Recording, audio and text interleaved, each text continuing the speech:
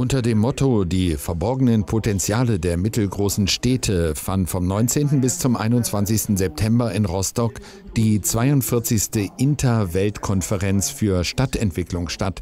Sie wurde gemeinsam vom Internationalen Stadtentwicklungsverband Inter, dem Deutschen Regiopole-Netzwerk und der Hanse- und Universitätsstadt ausgerichtet.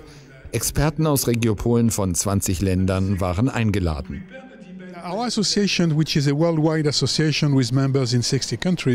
Unser weltweiter Verband besteht aus 60 Mitgliedern, die in 60 verschiedenen Ländern leben. Wir organisieren jährlich mehrere Kongresse.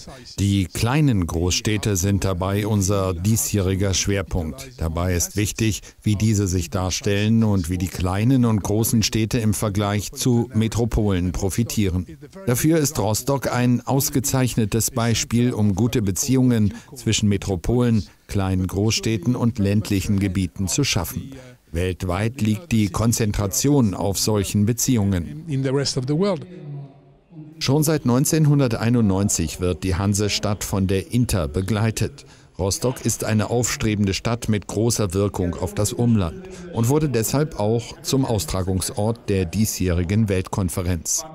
Rostock ist also von jeher als eine Stadt um 200, 250, 300.000 Einwohner geplant worden, wächst jetzt, entwickelt sich, hat qualitatives, quantitatives Wachstum, bereitet den Quantensprung vor. Damit sind wir international in die Aufmerksamkeit geraten und wir können jetzt mit Partnern aus dem In- und aus dem Ausland beraten, wie Rostock seine neuen Entwicklungsschritte gehen soll und andererseits wollen die anderen Städte und Nationen von uns lernen, wie dieser Stadttyp mit seiner spezifischen Eigengesetzlichkeit funktioniert. Denn letzten Endes sind wir ein überzeugendes Beispiel für eine Stadt, die also ein gutes Zuhause für über 200.000 Einwohner bietet. Rostock entwickelt sich dynamisch. Hier wird viel investiert, zum Beispiel in die Austragung der Bundesgartenschau 2025. Und gerade konnten die Einwohner über mögliche neue Wohnungsstandorte abstimmen.